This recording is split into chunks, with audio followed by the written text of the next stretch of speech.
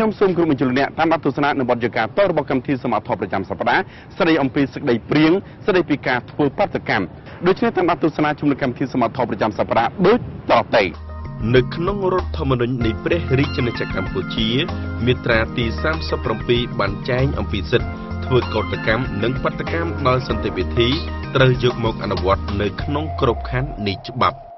ចាប់តាំងក្រោយកិច្ចព្រមព្រៀងសន្តិភាពទីក្រុងប៉ារីសឆ្នាំ1993មកដល់បច្ចុប្បន្ននេះកម្ពុជាមិនទាន់មានច្បាប់ធ្វើបាតកម្មថ្មីទេ គឺមានតែច្បាប់ធ្វើបាតកម្មដែលធ្វើឡើងនៅក្នុងសង្គមរដ្ឋកម្ពុជានាឆ្នាំ1991ដែលមាន11មាត្រា ច្បាប់ចាស់នេះទៀតសោត មានការមិនពេញចិត្តពីអង្គការសង្គមស៊ីវិលនិងអ្នកធ្វើបដកម្មមួយចំនួនព្រោះថាច្បាប់នេះគឺទាមទារចាំបាច់បំផុតដែលត្រូវធ្វើការកែប្រែពីព្រោះច្បាប់នេះមិនបានអឺ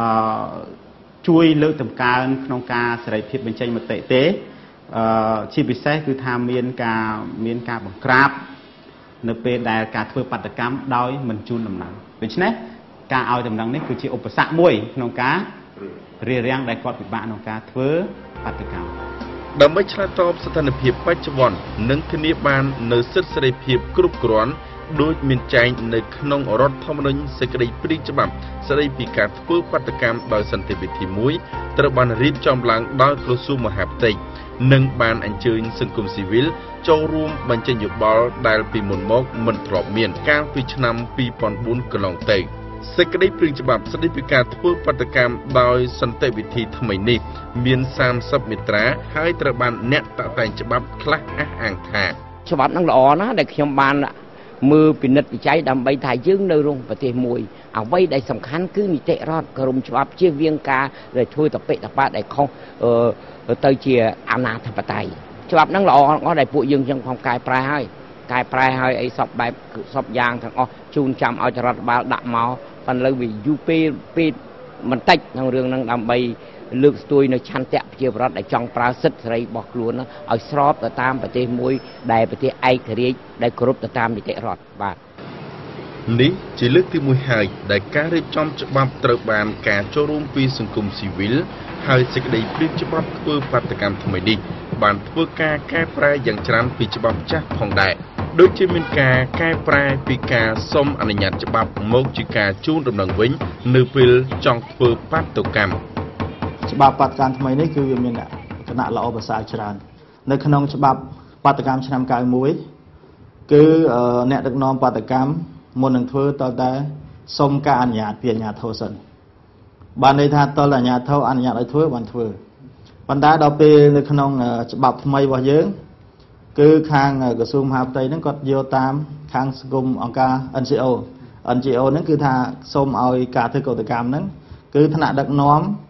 មិនបាច់សុំការអនុញ្ញាតទេគ្រាន់តែជូនដំណឹងបានហើយពង្រៀនច្បាប់ធ្វើបដកម្មថ្មីនេះមានមតិជាច្រើនយល់ឃើញថា មានភាពល្អប្រសើរជាងច្បាប់ពីមុនប៉ុន្តែក៏មានលេចចេញនៅភាពចម្រូងចម្រាសមួយចំនួន ដែលសង្គមស៊ីវិលអ្នកច្បាប់និងអ្នកធ្វើបាតុកម្មមួយចំនួន បានទាមទារឲ្យមានការលុបចោលមាត្រាទី26នៃច្បាប់ថ្មីដែលតម្រូវឲ្យអ្នកដឹកនាំធ្វើបាតុកម្មជាអ្នកទទួលខុសត្រូវទៅលើអ្វីដែលជាការខូចខាតចេញពីបាតុកម្ម ច្បាប់យើងពីសម័យរដ្ឋកម្ពុជាក៏មិនមានចែងច្បាប់ពីសម័យណាក៏ឲ្យមានចែងឲ្យមានអ្នកដឹកនាំបដកម្មទូខុសត្រូវទេពីព្រោះយើងមិនដឹងថាអ្នកណាមកចូលរួមខ្លះជួនកាលមាន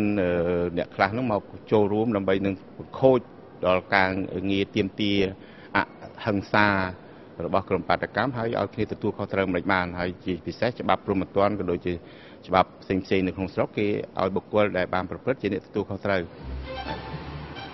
ទោះបីវាជាជោគជ័យមួយដែលក្រសួងបានពិភាក្សាជាមួយសង្គមស៊ីវិលលើការរៀបចំពង្រឹងច្បាប់ធ្វើបដកម្មដោយសន្តិវិធីនេះក៏ដោយតែសង្គមស៊ីវិលបានត្អូញត្អែថាពួកគេមិនដែលបានជួបពិភាក្សាបន្តទៀតជាមួយក្រសួងលើបញ្ហានេះទៀតទេ ជាហេតុធ្វើឲ្យពួកគេមានការបារម្ភដោយមិនដឹងថា ក្រសួងអនុវត្តទៅតាមការព្រមព្រៀងដែរឬទេ ប៉ុន្តែក្នុងនាមជាអ្នកបញ្ចេញមតិផ្ទាល់នៅក្នុងការទាមទារផលប្រយោជន៍សម្រាប់ខ្លួន និងមិត្តភ័ក្តិកម្មករលោកយិនប៊ុនលីមដែលជាតំណាងគណៈកម្មការម្នាក់បានសម្ដែងមតិចំពោះសិទ្ធិនៃការធ្វើបាតកម្មយ៉ាងដូចនេះថាខ្ញុំយល់ឃើញថាច្បាប់គឺមានអស់ហើយការច្បាប់ធ្វើកោតកម្មគាត់អីប៉ុន្តែគាត់ថាសម្រាប់ អឺអ្វីដែលថាអានុគ្រោះឲ្យយើងគឺថាវាមិនទាន់គ្រប់គ្រាន់ដល់ឡើយទេព្រោះថាច្បាប់គេបានសរសេរច្បាស់លាស់ហើយមានចែងក្នុងច្បាប់ថាកម្មករក៏មានសិទ្ធិធ្វើកោតកម្មទៅថាទៅតាមនីតិវិធីបាទគាត់ថាកាលណាយើងដើរចំនីតិវិធីអស់ហើយយើងអាចមានសិទ្ធិធ្វើកោតកម្មបាទប៉ុន្តែថាការធ្វើកោតកម្មហ្នឹងគឺមានការអាក់ខានមានការរំខានច្រើនពីខាងដូចជាអាជ្ញាធរអីផ្សេងផ្សេងហ្នឹងគាត់មករំខានមិនឲ្យកម្មករមិនចង់ឲ្យកម្មករធ្វើកោតកម្មទេហើយក៏ខ្ញុំចង់ជម្រាបថាកម្មករទាំងអស់ គឺមិនចង់ធ្វើកោតកម្មទេបាទនៅគណៈពេលនៃការចិត្តមកដល់រដូវកាលបោះឆ្នោតមានមតិខ្លះបានលើកឡើងពីការបារម្ភអំពីការធ្វើបាតកម្មបញ្ចេញមតិដោយសារថាច្បាប់ធ្វើបាតកម្មដោយសន្តិវិធីថ្មីមិនទាន់បានដាក់ឲ្យប្រើប្រាស់ប៉ុន្តែក្នុងនាមជាអ្នកបានចូលរួមផ្ដល់យោបល់នៅក្នុងការរៀបចំសេចក្តីព្រាងច្បាប់ធ្វើបាតកម្មដោយសន្តិវិធីថ្មីមជ្ឈមណ្ឌលអប់រំច្បាប់សម្រាប់សហគមន៍ហៅថា CLEC ឲ្យដឹងយ៉ាងដូចនេះថា គឺយើងគិតថាมันមានតោះខុសអីទេ ក្នុងការដែលយើងយកច្បាប់ស្ដីពីបាតកម្មដែលកំពុងមានជាធរមានហ្នឹងមកអនុវត្តច្បាប់ស្ដីពីបាតកម្មដែលកំពុងមានជាធរមានហ្នឹងគឺមានលក្ខណៈសកលល្អហើយមិនចងកតបកិច្ចទៅដល់អ្នករៀបចំអ្នកជូនដំណឹងអំពីការរៀបចំធ្វើបាតកម្មដោយសន្តិវិធីហ្នឹងទេអញ្ចឹងចំពោះអ្នកដែលចង់រៀបចំធ្វើបាតកម្ម ដោយសន្តិវិធីនៅក្នុងដំណាក់កាលនេះទទួលមុនពេលឃោសនាបោះឆ្នោតអីហ្នឹងគឺគឺគឺគាត់គាត់អនុវត្តតាមតែច្បាប់ដែលកំពុងមានធរមានហ្នឹងទៅគឺបានហើយតាមការឲ្យដឹងពីសង្គមស៊ីវិលថាពង្រៀងច្បាប់ធ្វើបាតកម្មដោយសន្តិវិធីថ្មីនេះបានធ្វើការកែប្រែលើចំណុចមួយចំនួនដែលសង្គមស៊ីវិលនិងអ្នកច្បាប់ខ្លះបានទាមទារនៅឯរដ្ឋសភាជាតិ និងបានបញ្ជូនទៅឲ្យក្រសួងសម័យធ្វើការកែប្រែវិញហើយ។